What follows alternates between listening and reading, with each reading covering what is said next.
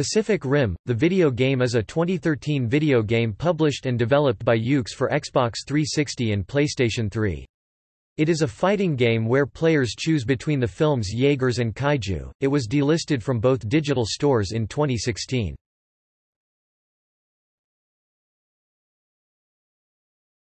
Topic: Gameplay In single-player mode, the player engages in several one-on-one -on -one melee battles to earn achievement points and upgrades for their characters. Jaegers have two health bars as they require two pilots while kaiju have one. Each character has its own set of special attacks. For example, Gypsy Danger can fire its plasma cannon or use its chain swords, while Leatherback can disrupt a Jaeger's mobility by firing an electromagnetic pulse.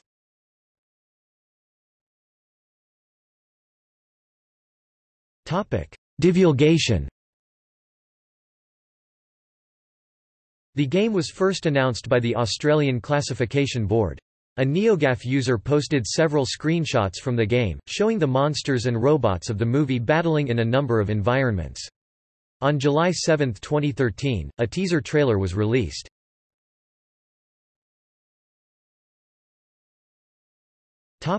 Reception The game was met with mixed to negative reviews. It has a Metacritic score of 39 out of 100, based on 14 reviews. Jake McGee of IGN gave it a mediocre rating of 5.3, calling it, "...a flimsy movie tie-in that chooses to concentrate on repetitive and nonsensical story missions." Ben Rayner of Xboxer 360 gave it a score of 60 out of 100, calling it a freemium game disguised as an XBLA game.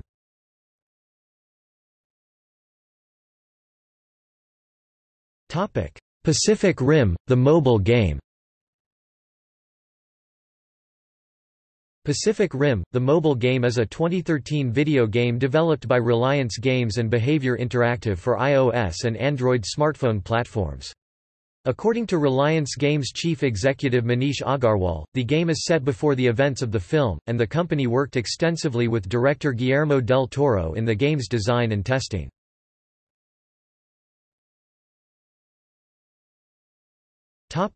Gameplay During battle, the player uses the on-screen buttons to block or dodge a kaiju attack. Once the kaiju gives an opening, the player swipes the screen to execute an attack. The campaign spans 30 missions, with the player earning cash to upgrade their Jaeger by changing parts or buying single-use power-ups. Cash can also be collected to buy more powerful Jaegers.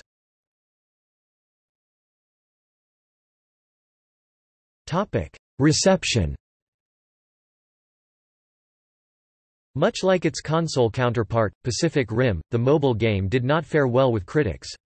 The iOS version has a Metacritic score of 48 out of 100, based on 12 reviews. Mike Fahey of Kotaku criticized the game for its lack of innovation, saying it, "...isn't a bad Infinity Blade-style mobile game. It's just another one." Scott Nichols of Digital Spy gave the game 2 out of 5 stars, commenting that it is priced at a premium, making the free-to-play structure rather insulting to fans.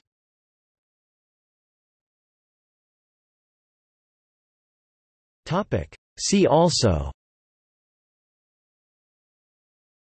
List of kaiju-related games